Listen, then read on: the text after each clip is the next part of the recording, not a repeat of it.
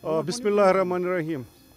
जैसा कि आप जानते हैं कि national consumers day consumers rights day दिसंबर की 24 तारीख को हर साल आ, हमारा डिपार्टमेंट मनाता आ, आ रहा है। आ, ये कंज्यूमर प्रोटेक्शन एक्ट जो आ, 1986 में प्रोमलगेट हुआ था उसके बाद उसमें अमेंडमेंट आई थी 91 और 93 में।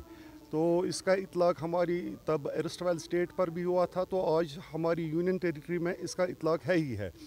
तो इस साल भी हमने, चूँकि कोविड पेंडेमिक जो है, उसका जो न्यू वेरिएंट है, उसको मद्दनज़र रख के हमने इस जो तकरीब इस वक्त कर रहे हैं।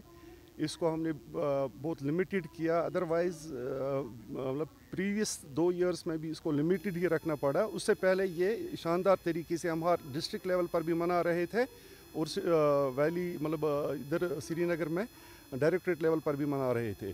तो मकसद इसका ये है कि कंज्यूमर को किस तरह से उसके जो हकूक़ मिले हैं, इसको इस एक्ट के माध्यम से उसको उनके उनके मुतलिक जो छः हकूक़ उनको मिले हैं उसको कैसे उनके मतलब बाखबर किया जाए, क्योंकि everybody including we people you and me we all are consumers तो कंज्यूमर्स को अपने हकूक़ का इदराक करने के लिए हम हर साल ये फ़ंक्शन मनाते हैं और हमारा डिपार्टमेंट इसका पिविटल रोल है इसमें इस एक्ट के तहत और एसेंशियल कमोडिटीज़ एक्ट के तहत हमारे डिपार्टमेंट के ऑफिसरान को ट्रमेंडस पावर्स हैं।